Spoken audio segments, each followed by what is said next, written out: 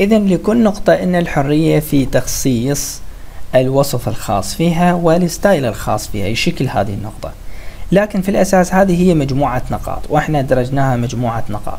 ماذا لو ردت أنه أنا أقوم بتخصيص مجموعة النقاط؟ على سبيل المثال عندي مجموعة من النقاط أريدها أنه تتخصص لي في أشكال معينة وفي وصف معين. وبالتالي فهنالك شيء يسمى عندك ضمن ال points يسمى عندك ال points group مجموعة النقاط. وطبعا إحنا لك الحرية في إنه تنشئ يعني أعداد من ال group من النقاط وأيضا لك الحرية في تخصيص هذه ال group وعرض الأولوية الخاصة فيها. تلاحظ أن لو أعمل عليها بهذا الشكل راح تجد عندك group يعني ال group اللي أنا أنشأته أثناء عملية الإدراج و group يسمى points هذا اللي هو يضاف بشكل افتراضي لكل النقاط اللي تضاف إلى البرنامج. فعلى سبيل المثال لو تبدي تضغط click يمين على ال G 1 ال group الأول ثم بعد ذلك أختار properties الخصائص الخاصة فيه راح تعرض لك هذه النافذة وهذه نافذة جدا مهمة راح نبدي نشتغل عليها أكثر من مرة.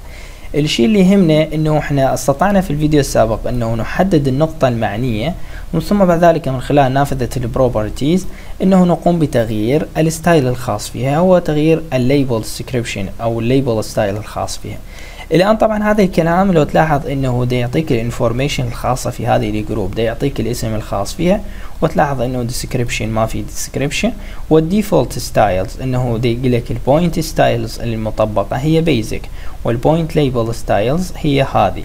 فأستطيع إنه أغيرها أو أعمل ال style الخاصه فيها. على سبيل المثال أختارها كلها على أساس تكون عندك point وابدي أختارها كلها على أساس تكون عندك فقط description ثم بعد ذلك أضغط على apply وعلى okay تلاحظ إنه هذا الكلام تم تطبيقه كليا على مجموعة النقاط اللي هي موجودة عندنا. كل النقاط أخذت نفس ال style ال point style وأخذت نفس ال label description أو ال label style خلينا نرجع مرة أخرى على سبيل المثال إنه تبدي تغيره إلى ال standard وأبدأ اغيره إلى ال elevation only okay ثم بعد ذلك أضغط على apply الآن راح تلاحظ إنه جميع النقاط تم تغييرها إلى الشكل ال standard الخاص فيها ويعني الشكل ال point standard الخاص في البرنامج. طيب الشكل ال standard أو ال default إنه يعتمد على الترميز الخاص في البرنامج. اعتمادا على description اللي موجود هو يبدي يقراه بشكل افتراضي أو شكل تلقائي ويبدي يعطي نوع النقطة الخاص فيه. وطبعا هذا راح يفيدنا كثيرا إنه إحنا ما راح نبدي نغير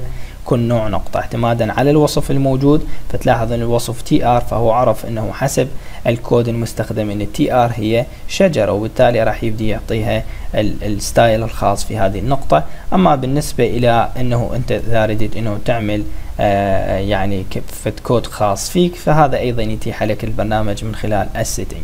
اذا لكل group هنا نستطيع انه نقوم بالذهاب لل properties وتغيير مجموعة ال default style الخاصة في ال group في المجموعة. وهذا الكلام راح يبدي يتطبق على كل يعني كل النقاط المضمنة ضمن هذه المجموعة.